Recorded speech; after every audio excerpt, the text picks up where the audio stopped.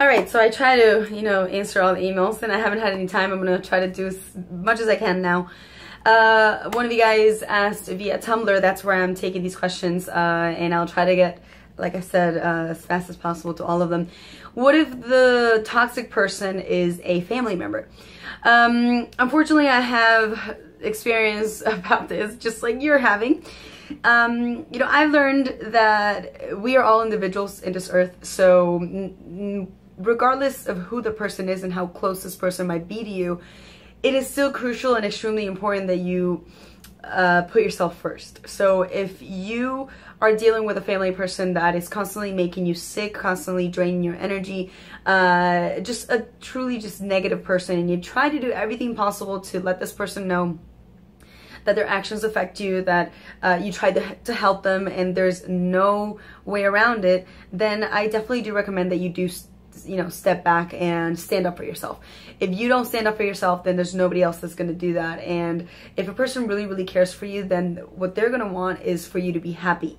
And if they're not making you happy or caring about if you're happy when you're around them, then why should you care so much about them? I know it sounds a little bit selfish, but in the long run, we are all individuals, like I said. So sometimes we have to take tough decisions when it comes to people and, especially when it comes to some specific family members if they only cause you harm.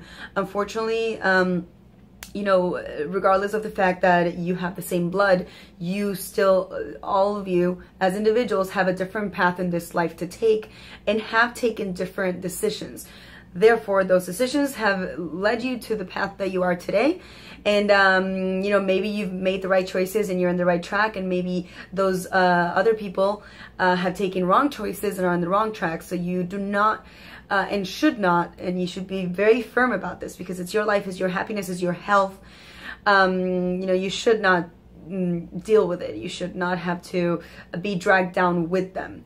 Uh, again, make sure you do let them know uh, how you feel about them and how the situation affects you. And when you know you've done everything possible, I always say try to help, you know, people and of course family, but in general, let's just call people.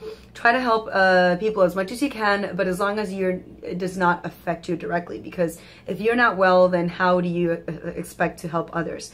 So um, yeah, so it, it, it, shouldn't really make a difference if they're family or not. You should be very firm in the situation on when you separate yourself or make strong decisions about people that are toxic and uh, that are only harming you. Because in the end, remember, it's just you.